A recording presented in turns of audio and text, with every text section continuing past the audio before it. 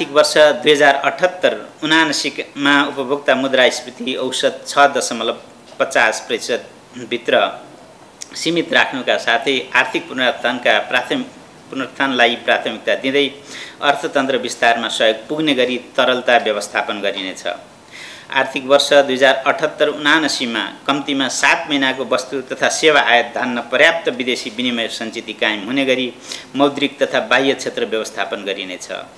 प्रचलित मूल्यको कुल गार्हस्थ उत्पादनलाई मौद्रिक प्रक्षेपणको आधारको रूपमा लिई आर्थिक वर्ष दुई हजार अठहत्तर उनासीमा विस्तृत मुद्रा प्रदायको विस्तार अठार प्रतिशत र निजी क्षेत्रतर्फको कर्जा विस्तार उन्नाइस प्रतिशत हुने प्रक्षेपण रहेको छ।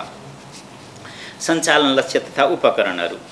ब्याङ्क तथा वित्तीय संस्थाले कायम गर्नुपर्ने अनिवार्य नगद अनुपात तिन प्रतिशतको विद्यमान व्यवस्थालाई यथावत राखिएको छ।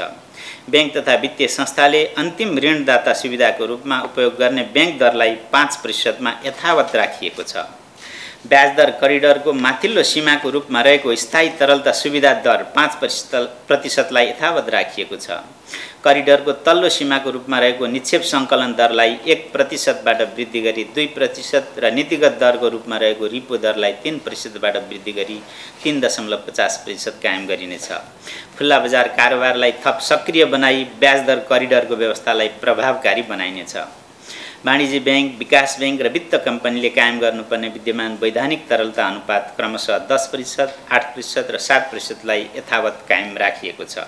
वाणिज्य ब्याङ्कहरूले कृषि ऊर्जा र लघु लघु घरेलु साना एवं मझौला उद्यमका क्षेत्रमा रु एक करोडभन्दा कम रकमका कर्जा प्रवाह गर्नुपर्ने पन्ध्र प्रतिशतको न्यूनतम अनुपातको विद्यमान व्यवस्थालाई निरन्तरता दिइएको छ। कृषि लघु तथा घरेलु क्षेत्रमा कर्जा प्रवाहलाई थप प्रोत्साहित गर्न गाउँपालिका तथा नगरपालिकाको सरकारी कारोबार सञ्चालन गर्ने वाणिज्य ब्याङ्कका शाखाहरूमा कृषि लघु तथा घरेलु कर्जा सम्बन्धी फोकल डेस्कको स्थापना हुने व्यवस्था मिलाइनेछ। ब्याङ्क तथा वित्तीय संस्थाहरूले प्रवाह गर्ने विभिन्न वर्ग कर्जा सम्बन्धी विद्यमान व्यवस्थामा आवश्यक परिमार्जन गर्दै यस्तो कर्जा लघु घरेलु साना तथा मझौला उद्योग व्यवसाय सम्बन्धी कर्जामा क्रमशः समायोजन गर्दै लगिनेछ। विपन्न वर्ग कर्जा।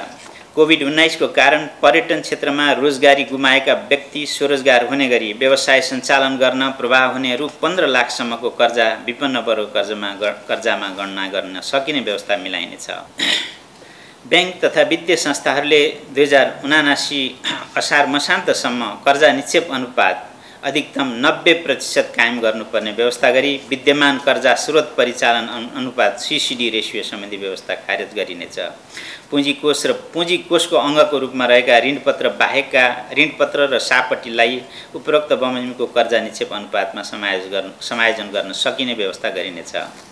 ब्याङ्क तथा वित्तीय संस्थाले रु एक अर्बभन्दा बढीको कर्जा लगानी गर्दा अनिवार्य रूपमा स्वावित्यकरणमा जानुपर्ने व्यवस्था रहेकोमा त्यस्तो सीमा वृद्धि गरी रु दुई अर्ब पुर्याइनेछ।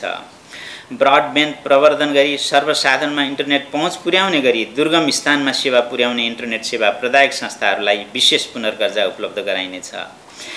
वाणिज्य ब्याङ्कहरूले दुई हजार अठहत्तर आषाढ मसान्तमा कायम गर्नुपर्ने गरी तोकिएको क्षेत्रगत कर्जा क्षेत्रगत कर्जा अनुपात कोभिड उन्नाइसको असरलाई दृष्टिगत गरी दुई हजार उनासी आषाढ मसान्तसम्मको लागि तोकिएको कर्जा अनुपात एकमुष्ट रूपमा पुरा गरे हुने व्यवस्था गरिनेछ। ब्याज पुँजीकरण गर्न यस ब्याङ्कबाट पूर्व स्वीकृति प्राप्त ग्रेस अवधिमा रहेका निर्माणाधीन आयोजनामा प्रभावित कर्जाको दुई हजार उनासी आषाढ आत्मशान्तसम्म पाएको ब्याज पुँजीकरण गर्न सकिने व्यवस्था गरिनेछ।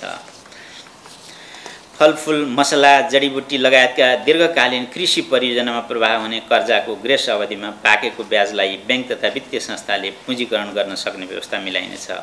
नेपाल सरकारबाट महामारी जन्य रोगको उपचारको लागि मान्यता प्राप्त खोप उत्पादन गर्ने उद्योग स्थापना गर्न ब्याङ्क तथा वित्तीय संस्थाहरूबाट आधार दरमा कर्जा उपलब्ध हुने व्यवस्था मिलाइनेछ। भुक्तानी कारोबारको प्रवर्धनका लागि विभिन्न माध्यमहरूबाट हुने भुक्तानी कारोबारको सीमा पुनरावलोकन गरिनेछ।